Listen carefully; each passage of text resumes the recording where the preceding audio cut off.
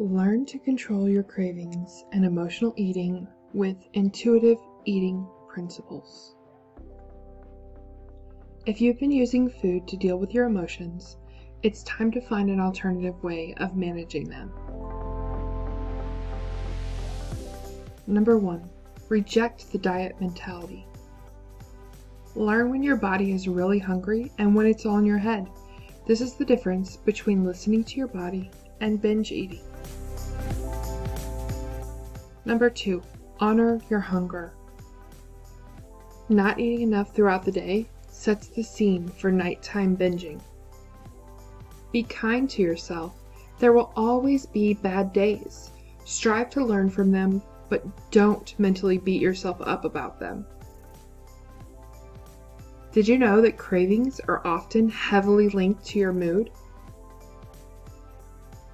Number three, make peace with food. Be mindful when you eat and take some time to connect with the taste, texture, smell, and color of your food as you eat it. Doing something that makes you happy to distract from the craving can make it go away altogether. Number four, challenge the food police. When you eat food without labels, you no longer need to count calories. Number 5. Discover the satisfaction factor. Play a mental video of yourself in your mind about how you'd like to react to cravings. For example, strong and totally in control. It can help you feel more in control in reality, too. Number 6. Feel your fullness. It's easy to eat on autopilot without really tasting what you're eating, but this can mean that you eat more than you intended to. Number 7. Cope with your emotions with kindness. Exercise, me time, writing in a journal, or watching a funny movie or video can all help to channel negative emotions and reduce emotional eating. Try to eat with other people as much as possible.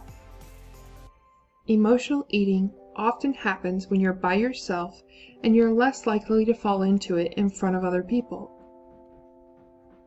Number 8. Respect your body. When you feel a craving, try to distance yourself from it. For example, you can take a brisk walk or a shower to shift your mind onto something else. A change in thought and environment may help stop your craving. Keep healthy snacks handy. Hunger is one of the biggest reasons why we experience cravings. Number 9. Movement. Feel the difference. Shift your focus to how it feels to move your body rather than the calorie burning effect of exercise. If you focus on how you feel from working out, like energized, it can make the difference between rolling out of bed for a morning walk or hitting the snooze button again. Number 10. Honor your health with gentle nutrition. When you get cravings, don't give in to them immediately. Distract yourself for a few minutes and take some time to check in with your emotions.